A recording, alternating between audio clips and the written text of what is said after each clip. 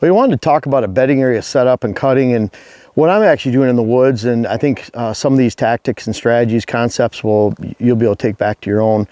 You know, right here at the end of February, February 27th, is a great time to cut and get out the woods, especially with their bedding areas. And this is an area that we have our eyes set on. I actually passed up 45, a five-year-old I ended up shooting later right up there with a bow.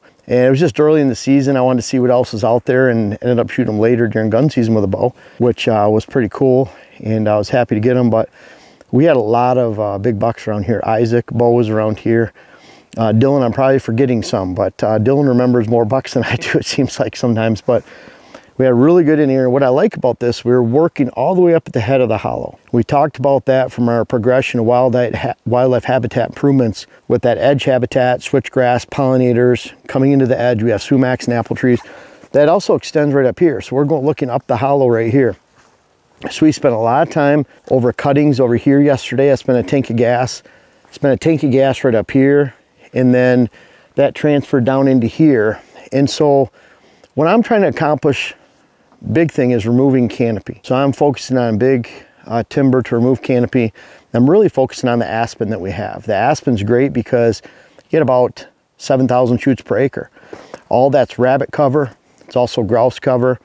Uh, really good deer cover and deer browse, deer food. And so it's very prolific and it's uh, one of my favorite species that we have out here. So that's that involves in that cutting this one and over here really paid attention to those big mature aspen. So that was first. Now we're looking at these cuttings, we have a huge hole in the skylight up, up in the canopy right here. I have one more hickory that I need to take down right over here and that'll open up this sky right here. We have a big hole coming into these cuttings. We have a giant sky over, hole in the sky right up here that will allow sunlight to come in here. So we're getting sunlight from both angles back in here. And then we have another big opening up there that's probably about a quarter acre. And then we have up on the edge and then all the way at the top. So all these, all these holes have sun comes in, coming in from different angles. And when that happens, we thicken up the entire area around there too. And so that was first and foremost. You might have mature timber you need to get down. We've actually focused on a little bit of oak up here where we had leaning subordinates of white oak. They're never gonna produce mass, they're not a timber uh, production tree, so just get them out of there. They're just taking up space. But anyway, any way we could reduce that canopy could be that you have mature maples that are poorly formed, double trunked. You get those down. In our case, we're blessed in this area. We don't have them everywhere on the property. We're blessed with these big giant aspens, so I'm focusing on those. So that means sometimes cutting around, like this big one we dropped right here, I had to cut some other trees down in front of it where it's gonna fall. So you cut those down first and drop them. So again, canopy reduction. We focused on a little bit of hickory in this area, a little bit of uh, oak, uh, also basswood. And so we had a variety of that. We had a couple larger cherries, but pretty much focusing on the aspen. And that was the first step, get sunlight in here and openings. This all relates to this pocket's 80 to 100 yards away from that pocket, which is 100 yards, 80 yards from that one. Across the hollow, about 80 to 100 yards. I hope you kind of understand what we're doing here. We're trying to thicken it up so that really you can't go more than 70, 80 yards before you hit another cutting and another explosion of growth. Focus on that canopy reduction first. That's the most important. Now we had to get some smaller trees down before that. So that's where we got into our hinge cutting. Here's an old box elder right here. It was actually old. You can see the stems right here. All the stems are shooting off this base, but this is pretty old. It's just growing straight up. And so focused on just hinging that over. We'll get sprouts along this whole thing. It'll actually create growth and trees growing along the bark. It'll actually give it some more life now that we're getting sun to it. We've hinge cut some cherry, cherry right here.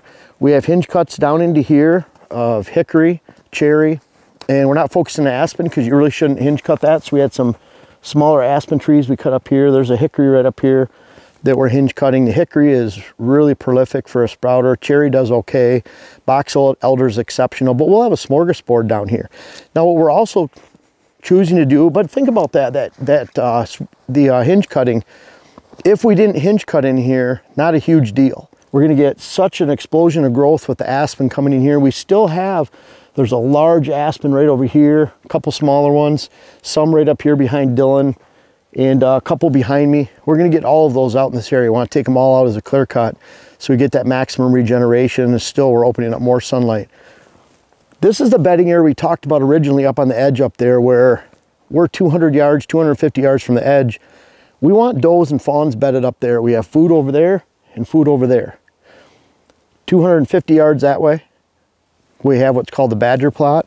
And then this is our home plot up there about 150 yards. So we want does bedded up top in those bedding areas we're creating. That next layer is we have room for younger, younger bucks, maybe more does and fawns. By the time we get down here into these flats, and this goes down a long ways, about a half mile from here where it's just all woods.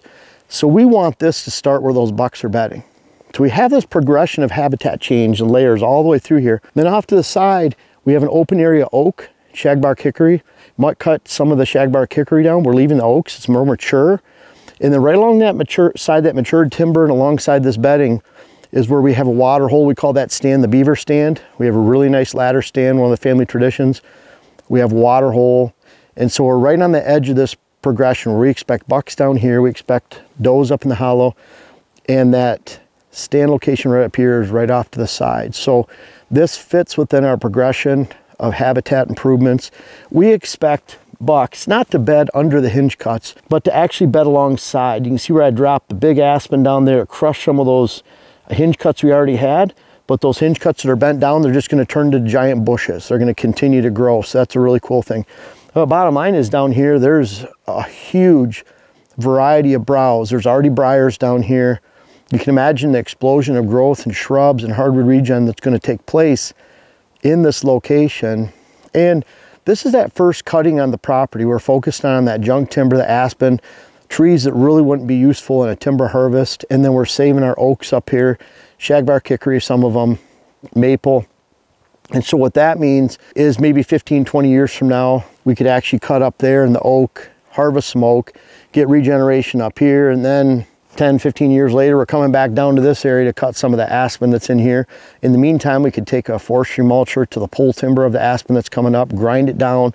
We could do that in seven to 10 years and, and continue the life and regeneration in these areas. So I hope that makes sense how this pocket, that pocket up there with food on the outside of it, we have our layered progression of switchgrass, pollinator blends. Big rock trees is coming out this spring. We're gonna put some 30 foot circles we're using deer fencing all the way around. It ends up 94 feet of fence. Fence will keep deer out so that we can put browse shrubs in like red osier dogwood, dappled willow, hybrid willow, all shrubs you have to protect out in the open like that.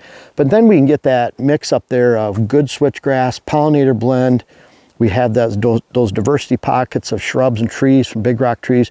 Two years later, you take the fence down, you do it in another spot. So we're gonna do a couple there, one up there, and two across the farm, and another area we're trying to bring Betty out. That all layers back to where we're right now. We have stand location right up here. We have a stand location that'll go behind the house right up here. Redneck blind going in with a water hole.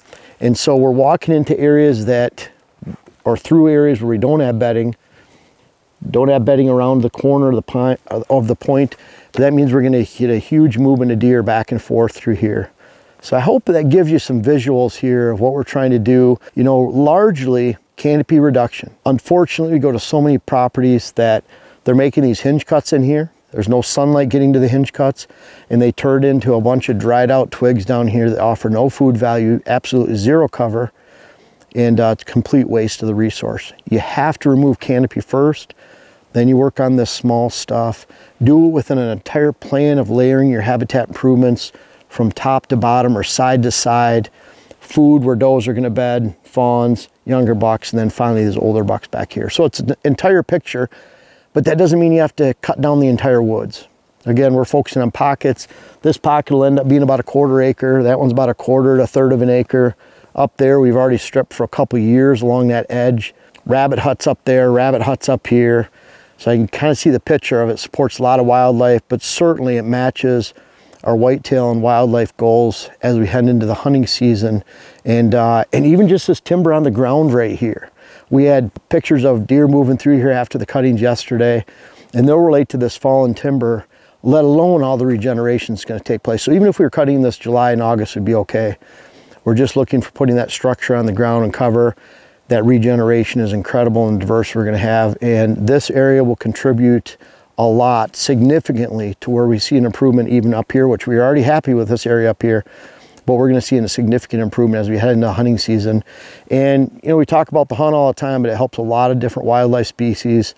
And, uh, we're going to really enjoy our hunting season as this relates to it and this improvement right here as it relates to it just this season. It doesn't take years.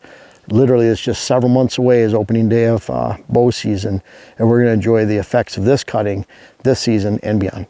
Hey, I'm really excited to introduce to you our Hills and Thermals web class. It's something we worked on all year. We're trying to put lots of facets of scouting, aerial imagery, diagrams on the whiteboard to really teach you how the wind moves through hills and how you should find bedding areas, how it relates to deer movements in general, how that relates to this is a bedding area stand, this is a food source afternoon stand. We really tried to put this together and offer you a complete picture of how to navigate hills and find better success consistently where you hunt.